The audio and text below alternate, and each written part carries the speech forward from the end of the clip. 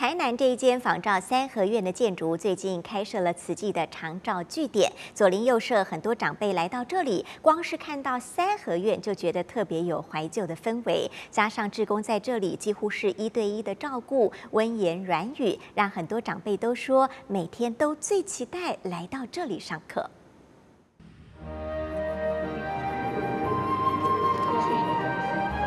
依照三合院建筑所新建的海西里活动中心，淳朴风情里有满满人气。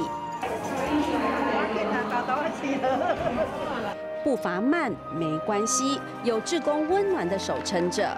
慈济海西里社区关怀据点就在这活动中心。哎，来来这位来这边，哎，来这边，你足乖足乖。搀扶起行动不便的长辈。志工更细心引导每个浴佛动作。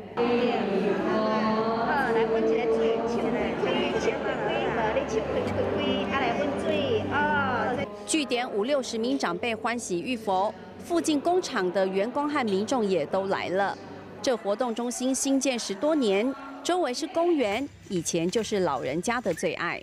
啊，因为我真该看阮这个公园啊，吼，就是寡老人寂寞，关一哪啊，就伫遮咧坐坐规日的，我就心内个想能够我们进入社区来关怀家中家嘛，所以我才是开始筹备这里。一份照顾老邻居的心，住在活动中心对面的志工陈立香，三年前推动据点试办。因为主题哦，当起起步吼。真正拢无人哦，啊一个一个了了招起来，这中者大家呢当来欢欢喜喜，哦啊当身体当健康。我最爱上这个课，哎真的增加智慧，搁会当运动。里长力挺下，据点正式揭牌，长辈也在这里找到持续进步的动力。大爱新闻陈怡贞、郑瑞平、郭明娟，台南报道。